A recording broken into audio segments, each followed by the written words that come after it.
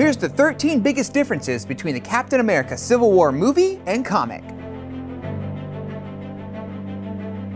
In the comic book, which is titled just Civil War, a group of young superheroes called the New Warriors try to get famous by taking on a group of nasty bad guys, only for the villain Nitro to explode, instantly killing the team and 600 civilians. This triggers a political reaction that brings about the Superhero Registration Act. In the movie, it's more of a snowball effect of several superhero incidents that claim civilian lives, and now the Avengers are being held accountable. Both the comic and the movie feature a fight over superhero registration, but in the Marvel Cinematic Universe, there are no real secret identities, so that pivotal element from the comic played no part. In the comic, there's also S.H.I.E.L.D.'s intention to hunt down unregistered superheroes, but seeing how there aren't many heroes in the MCU, the movie made it more about capturing the Winter Soldier. In the comic, it's S.H.I.E.L.D. that enforces the Superhero Registration Act, but in the MCU, S.H.I.E.L.D. was disbanded after the Hydra takeover in Captain America the Winter Soldier. An underground version of S.H.I.E.L.D. still exists under the command of Agent Coulson on the Agents of S.H.I.E.L.D. TV show, but they're in no position to be enforcing any superhero laws. The head of the movie's Sokovia Accords is U.S. Secretary of State Thunderbolt Ross, who aims to enforce the new law with a UN committee. There are some who prefer the word vigilante.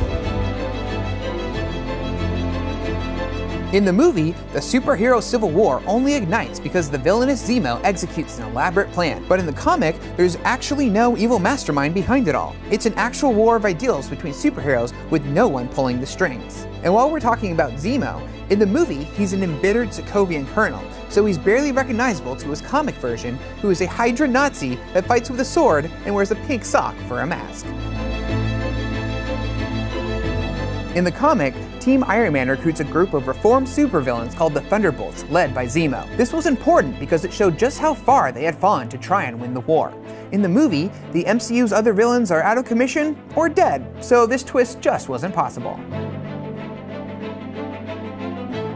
Hulk was absent in both versions, although for different reasons. In the comics, he was shot into space by the Illuminati because they thought he was too dangerous, whereas in the MCU, he went off the grid by choice at the end of Avengers Age of Ultron. As for Thor, he wasn't in the movie, but in the comics he played a surprising role, sort of.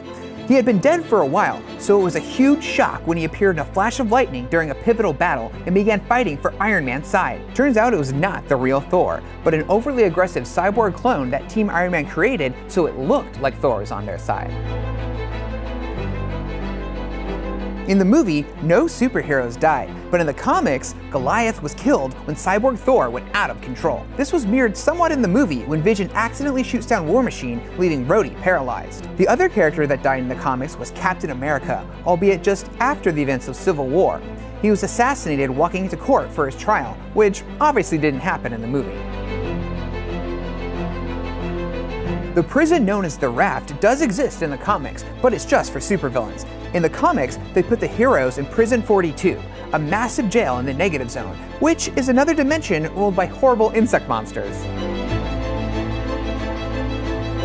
In the movie, Captain America's team included Falcon, Ant-Man, Hawkeye, Scarlet Witch, and Winter Soldier.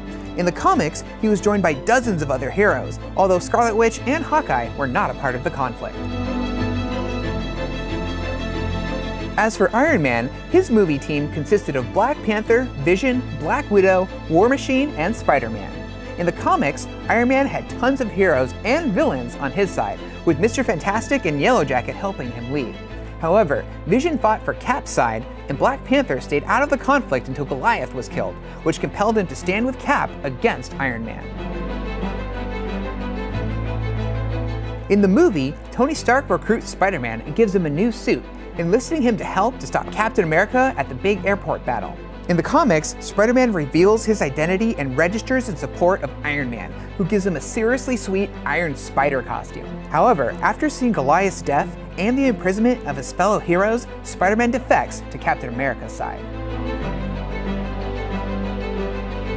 The comic book featured a true superhero war with hundreds of characters and massive battles. The movie, on the other hand, was more of a brawl than a war with a grand total of six heroes on each side. By the end, the movie wound up shelving the registration argument, instead focusing on the hunt for Zemo and the highly coincidental tragedy between Iron Man and the Winter Soldier, none of which was in the comic. When it was all said and done, Iron Man side won and Cap side became fugitive, which is about the same as the comics. So the only big difference is that this movie ends on a positive note because Cap is still out there fighting the good fight. Whereas in the comic, it's pretty depressing because scum of the earth Iron Man won, the real heroes were forced into hiding, and Captain America died. For more on Civil War, check out our list of movie Easter eggs, and for all your Marvel needs, keep it here on IGN.